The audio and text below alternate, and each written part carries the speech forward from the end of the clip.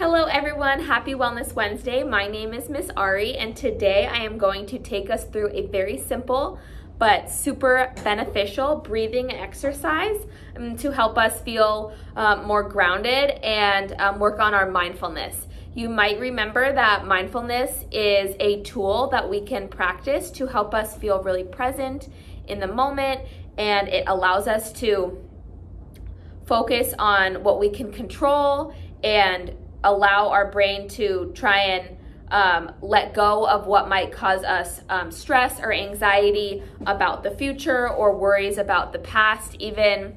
So, uh, mindfulness is really um, beneficial to practice, and this activity that I'm going to lead us in is called box breathing.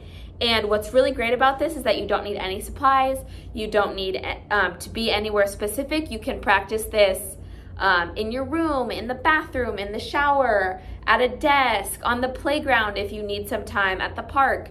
Um, so, what this um, breathing exercise is, it's uh, called box breathing because we're going to do equal counts of breathing and holding. So, similar to a box that has four equal sides, we'll do um, four holds of breath for similar lengths. So, we're gonna do four seconds so we're gonna breathe in for four seconds. We will hold for four seconds.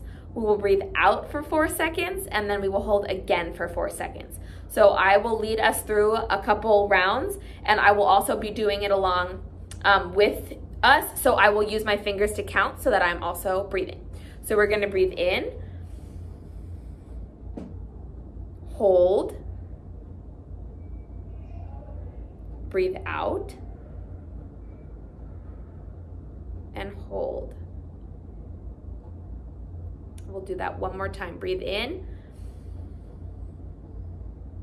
hold, breathe out,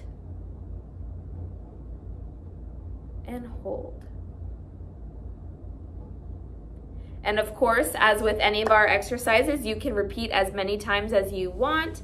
Um, but hopefully, this is a very simple tool that you can implement anywhere that you are to allow you to feel more calm, feel more, um, or feel less stressed rather, and, and just feel more present and in the moment. So that is our Wellness Wednesday video for today. Hope you enjoyed, and we will see you in our next video. Have a great week.